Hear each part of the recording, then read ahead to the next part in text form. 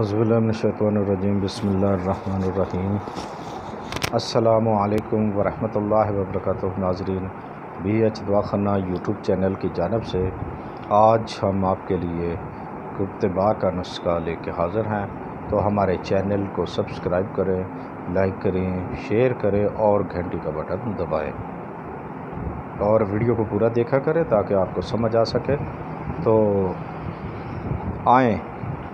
हम आपको कूबते बाद का आजमूदा नुस्खा, जो बहुत सारे हकीम, तबीब, हुक्मा का जाने के बहुत तजर्बे शुदा नुस्खा है। तो क्या करना है? आए नुस्खा की जानब चले तो क्या करना है आपने? बादाम की गिरी लेनी है आपने। दस अदद बादाम की गिरी लेनी है। पाँच अदद अच्छे शुआरे लेने हैं आपने। तो मिश्री लेनी है। इसको अब आपने क्या करना है? घी लेना है। गाय का यानी कि गाय का घी घी लेना है। इसको आपने दूध में डाल देना है। बादाम की गिरी,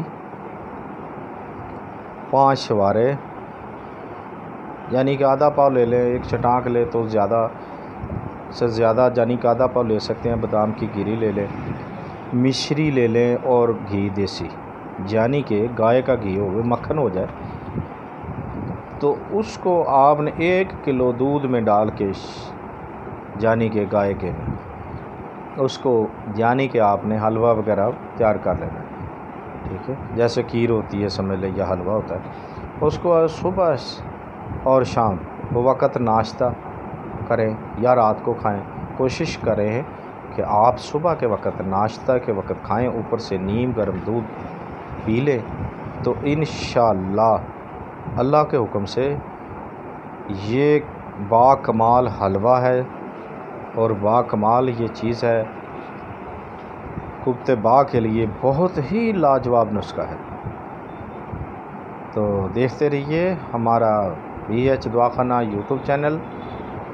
अल्लाह हाफिज़